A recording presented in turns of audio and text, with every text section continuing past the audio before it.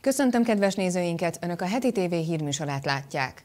Részvétáviratot küldött Áder János köztársasági elnök Donald Trump amerikai elnöknek a keddi New Yorki gázolásos terrorcselekmény miatt, amelyben 8 ember meghalt.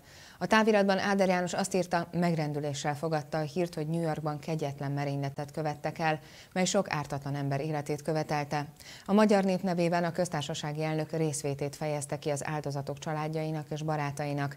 E nehéz órákban minnyáján együtt érzünk azokkal, akik a terrortámadásban elveszítették szeretteiket, írta Áder János. Hozzátette, osztoznak fájdalmukban, a merénylet sebesültjeinek pedig mielőbbi teljes felgyógyulást kívánnak.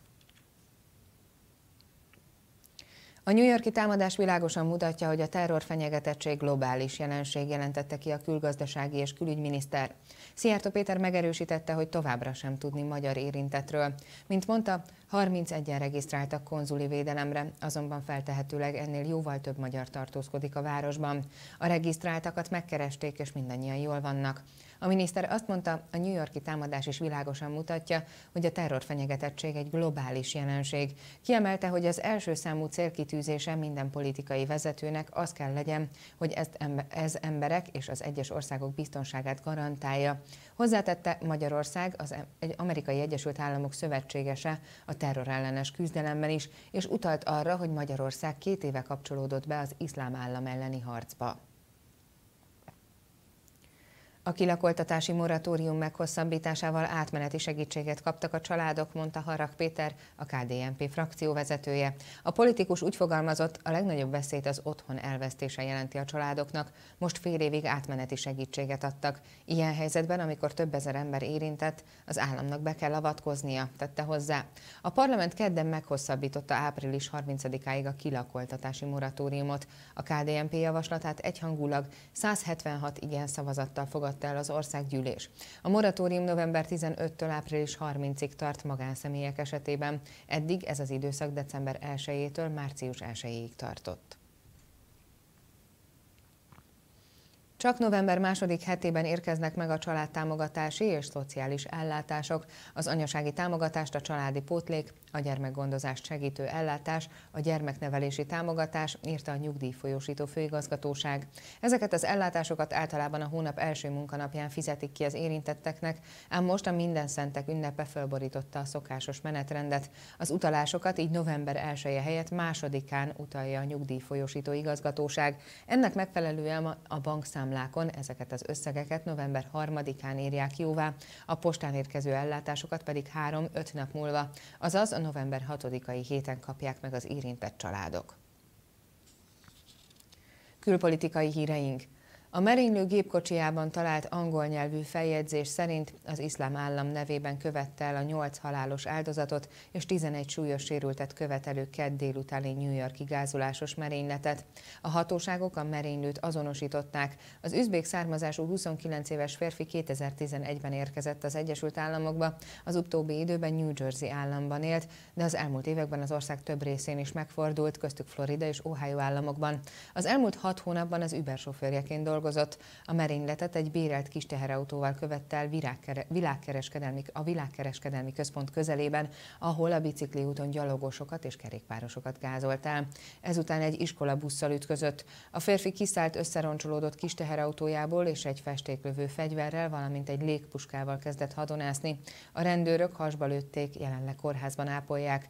A kis teherautót egy órával a merénylet elkövetése előtt bérelte. Több külföldi vezető elítélte a New Yorki gázolásos merényletet, amelyben 8 ember meghalt és további 11 súlyosan megsebesült. Tereza May brit miniszterelnök azt mondta, megrémítette ez a gyáva tett. Kifejezte abbéli meggyőződését, hogy a terrorizmus együttes erővel legyőzhető.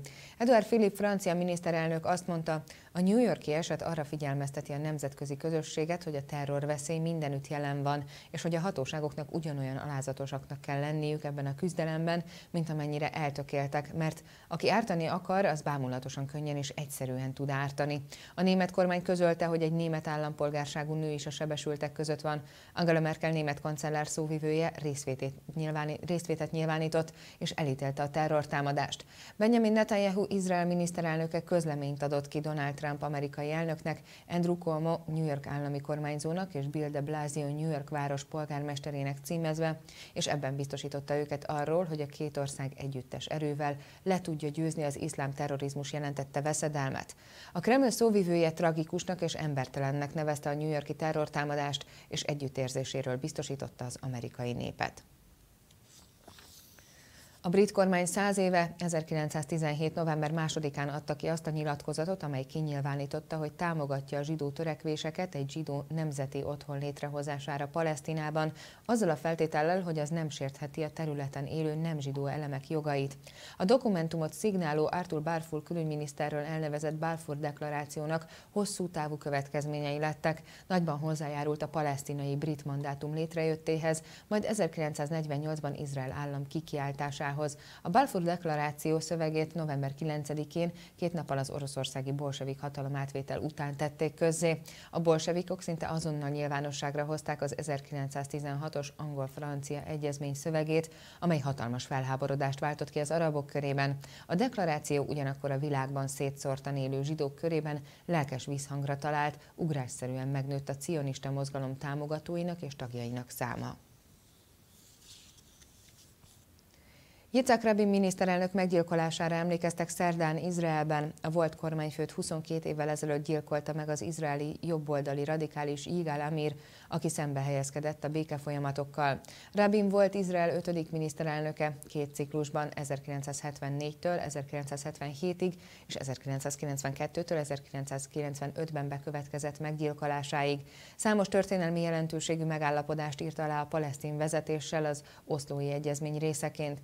1994-ben Rabin a hosszú ideje politikai ellenfélnek számító Simon, Simon Pereszel és a palesztin vezetővel Yasser Arafattal közösen nyerte el a Nobel békedíjat. Rabin 1994-ben Jordániával is aláírt egy békeszerződést.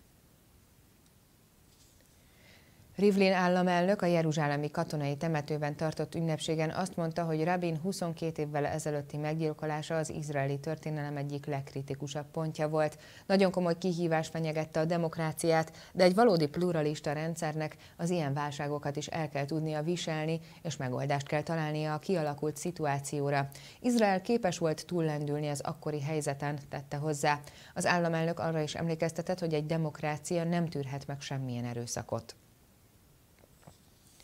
Izrael nem érdekelt abban, hogy bármilyen konfliktust kitörjön a gázai övezetben, de a zsidó állam nem fogja hagyni, hogy bármilyen módon megsértsék a szuverenitást és provokálják, mondta Avigdor Lieberman védelmi miniszter.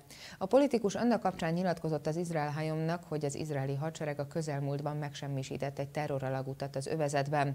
Lieberman elismerően beszélt arról, ahogyan a hadsereg az alagút ügyét kezelte. Elmondta, hogy nagy figyelemmel követik az Izrael déli részén zajló eseményeket, és minden eshetőségre fel van készülve a hadsereg hadsereg. Gazdasági híreink. A politikai kockázatok miatt gyors ütemben romlik az üzleti klíma Katalóniában, és a belpolitikai stabilitás megingása várhatóan negatív reálgazdasági következményekkel jár majd a térségben, áll a Moody's Investor Service helyzetértékelésében. A nemzetközi hitelminősítő közölte, hogy megerősítette ugyan a Katalóniára külön érvényben tartott hosszú és rövid távú adókockázati besorolást, az eszkalálódó politikai válság miatt azonban az eddigiről egy fokozattal rontotta Katalónia alapszintű adóminősítés, adóminőség értékelését. A piaci várakozások szerint kamat, kamatemelést jelenthet, jelenthet be a brit jegybank, amely legutóbb több mint egy évtizede emelte azóta történelmi mélypontra visszasüllyesztett alapkamatát. Egyes londoni elemzők vélemények szerint mindazonáltal hiba lenne, ha a Bank of England valóban kamatemelésre szánná el magát. Mark Kearney, a Bank of England kanadai kormányzója nemrégiben kijelentette, hogy viszonylag rövid időn belül várható az alapkamat emelése. Kearney szerint a jegybankot az inflációs nyomás mellett aggasztják az arra utaló jelek, is, hogy ismét felelőtlen hitelkiáramlási dömping kezdődhetett a brit gazdaságban. A piac szereplők és a londoni elemző közösség zöme a nyilatkozatot úgy értelmezte, hogy a Bank of England kormányzója a novemberi kamatemeléshez készítette elő a terepet. Végül sporthíreink. A Magyar Szövetség beadta a jelentkezést a 2022-es karate világbajnokságra. Mészáros János, a Magyar Karate Szövetség elnöke elmondta, a sportág múlt heti spanyolországi korosztályos VB-jén Tenerifén tudatta hivatalosan Magyarország rendezési szándékát a Nemzetközi Szövetség illetékeseivel, és igyekezett támogatókat gyűjteni a törekvés sikeréhez. Ez persze még csak az első lépés, jelentette ki az MKS vezetője.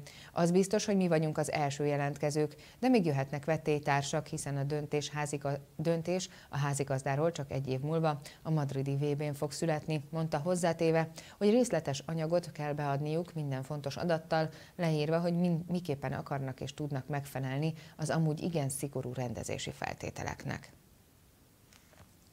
Híreinkről bővebb információt a www.broyerpress.com, illetve a hetitv.com-on olvashatnak. Én köszönöm figyelmüket a viszontlátásra!